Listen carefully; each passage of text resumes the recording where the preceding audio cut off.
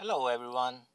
In this video I'm gonna show you how you can find online registration detail of any vehicle. So let's begin. First open the Play Store and in search type online registration.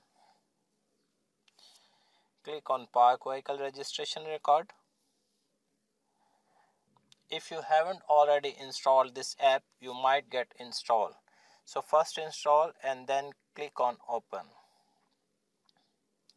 So this is the user interface of registration online checking. You have multiple options.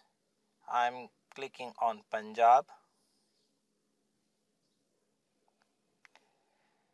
So here you can type the vehicle number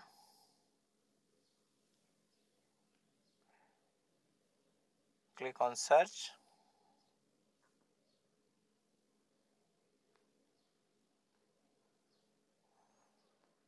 So here's your vehicle details and owner details.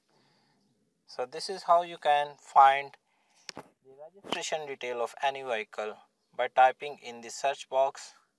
So if you like this video hit the subscribe button below. And if you want to see more videos like this visit my channel and see you in next video. Till then take care. Goodbye